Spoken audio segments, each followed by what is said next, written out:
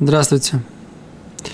Долго думал, как начать сегодняшний блог, и начну вот так, как он на самом деле начался.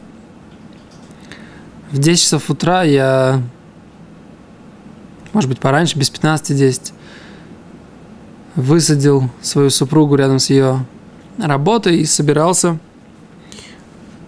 заехав там еще в какое-то место, ехать в Толдот и Ширун.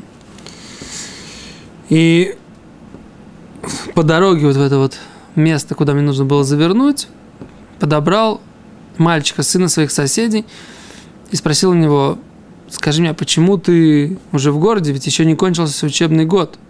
Осталось еще несколько дней до 9 ава. Почему ты вернулся в город? Мне сказал, разве ты не знаешь? Есть большая похоронная процессия. Как, что случилось? Говорит, рыбари Финкель скончался. Кто был такой рыбари Финкель для нас? Прежде всего, у нас в городе есть ешива. Буквально, так сказать, нескольких сот метрах от моего дома есть ешива, которая называется Ешиват Мир Брахфельд. Ее основал Рабносен Цвифинкель, Зацаль. А Рошишивой там был Рыбари Финкель Зацаль. Про Рыбари говорится такая вещь. И не знаю, никто сегодня это не упомянул, но мне как-то это слышал, что Рыбари должен был быть Рошишивой и в мире, и в Иерусалиме, и был, э, он был великим мудрецом Торы, который был достоин стать Рошишивой. Но так получилось, что зятем Рошишивы Рабиньомина Финкля, Бениша Финкля был Рабносен Цви. Сейчас очень долго объяснять всю их сказать, Рабносен Цви, он не тот Финкель, который из тех Финкелей, которые должны были быть. Он тоже э, про внук э, дедушки из Слободки, но не той ветви, которая были расшивыми в мире. А Рыбари, да, из этой ветви. Но Рыбносен Цви стал зятем у Раббеньомина, когда приехал учиться. Рыбносен Цви, в принципе, родился в Чикаго. И приехал в Ешиву, и там остался. Рыбари, да, был потомком тех финкелей, которые, в принципе, могли бы быть Рошивами. Но Рабносен Цви стал Рошивой как зять, а Рыбари ни, никогда в жизни не устраивал никаких споров, никаких не оспаривал этого решения. Всегда говорили, что великолепные человеческие качества Рыбари – это то, что сделало духовную базу для роста Ишивы мира. То есть Рабносен Цви с его желанием развить Ишиву и уважение Рыбари, который умел быть при всем своем величии очень скромным человеком. И вот когда Рабносен Цви открыл Ешиву в Брахфельде, то он поставил там Рошивой Рыбари. И Рыбари в Брахфельде тоже давал место всем. Там сейчас Рошива Рыбно Малон, зять Рыбносен Цви так там тоже как бы не было никогда, что Рыбари занимал все то пространство, в котором он находился. Он всегда давал место кому-то, при всем своем величии. Говорят, что это качество Кодж Богу. Всевышний, в принципе, он заполняет, по идее, все пространство. Но он дал, он сделал, как, бы, как будто бы сжал себя и дал возможность человеку тоже существовать, ощущать собственное существование. И вот это вот качество великих людей. То есть Рибари, несмотря на все свое величие, давал возможность всем, намного более молодым людям показать себя, преподавать и чувствовать себя с ним комфортно. комфортно. Весь наш день пошел по-другому, и на 11.00 была назначена похоронная процессия. Среди всех выступлений перед началом похоронной процессии мне больше всего запомнилось выступление Рабби Авраам Ицхака Барзеля, одного из преподавателей очень ярких преподавателей в Ешиве Мир в нашем городе. Он сказал так, что, может быть, есть люди, которые будут знать Тору как рыбари.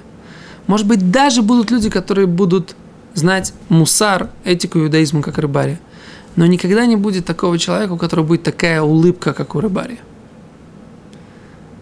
Я подумал, что он имеет в виду на в первый момент. Как так? Не Тора, не мусар, улыбка. И тогда он объяснил, он говорит, что написано, что Иуда, да, лев, да, как бы э, лев Иуда, у него будет улыбка, которая будет э, обелять зубы больше, чем молоко. Так написано в Торе.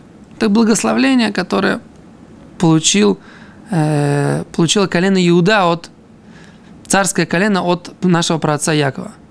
То что имеется в виду? Они будут, их улыбка будет так влиять на другого человека больше, чем стакан молока. Так написано в Гемаре.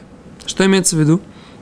Ты Кравбарзель объяснил так, что когда ты даешь человеку молока или ребенку, оно строит кости, дает возможность человеку расти, теленку расти, человеку расти. То есть это такая как бы не просто жидкость, это что-то очень укрепляющее, усиляющее. Так вот, улыбка человека, она может быть намного сильнее дать человеку push-up, да, стартап, дать человеку какие-то силы, заряд бодрости, заряд энергии, поддержать его. Улыбка другого может быть намного сильнее. Он говорит, кого?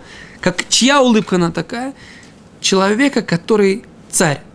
Что имеется в виду царь? Человек, у которого есть такая мощь, он работал над собой, он стал царем над собственными страстями, над собственными эмоциями, стал как вот настоящий еврейский царь. И вот, говорит, у нашего Ария, у нашего Рыбария было это качество. За счет его великого как бы величия работы над собой, любая его улыбка, она давала человеку какие-то невероятные силы. И действительно так. Я своим детям, когда мы в каждую субботу вечером молились в Ешиве, э, кто-то из детей говорит, папа, пойдем, хочется очень кушать, пойдем быстрее домой. Я говорю, не, не могу. Надо пройти мимо рыбари и сказать ему гуд шабас. И вот этот в последний, последний шаббат, когда мы были, мы проходили мимо рыбари, нет, последний шаббат мы не были, предпоследний шаббат мы были, когда в Ешиве, на этот шаббат последний мы были в другом месте, в гостях, предпоследний шаббат, когда мы были в Ешиве, прошли мимо рыбари, я помню эту улыбку, от, что называется, да, во вс... огромную, широкую улыбку, которую он говорил нам Гудшабас. Любому человеку проходил мимо него сотни людей. И всем вот это вот сердечная Гудшабас, которая прям давала... И Бахурим, вы понимаете, ученики Ишивы, я никогда такого не видел, плакали, когда были траурные речи, плакали, буквально это слышно было в микрофоны, потому что я не смог пропасть в помещение, стоял на улице – не, Бахурим плакали. Понимаете? А знаете, какие Бахурим в мире? Они такие очень достойные такие ребята. Они всегда так как-то к себе относятся с уважением. И вот такие вот молодые красавцы, такие вдруг такие слезы, да?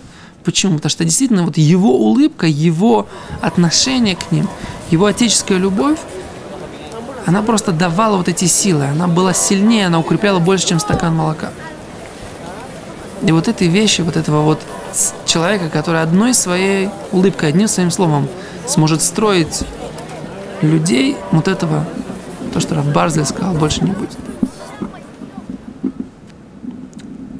Но мы всегда говорим, что любое качество, любое качество, которое было у умершего человека, в течение нескольких дней после смерти, а именно 7 дней, мы можем его как бы взять себе. Все его качества, над которыми он работал, они как бы витают в воздухе. Мы только должны, так сказать, начать работать в этом направлении. И тогда у нас есть особая помощь Всевышнего, чтобы мы их переняли к себе. Вот эта вот вещь, что одним словом, одной улыбкой, одним каким-то маленьким действием поддержать другого человека, мне кажется, это замечательная вещь, которую мы можем научиться у Рыбари Финкеля.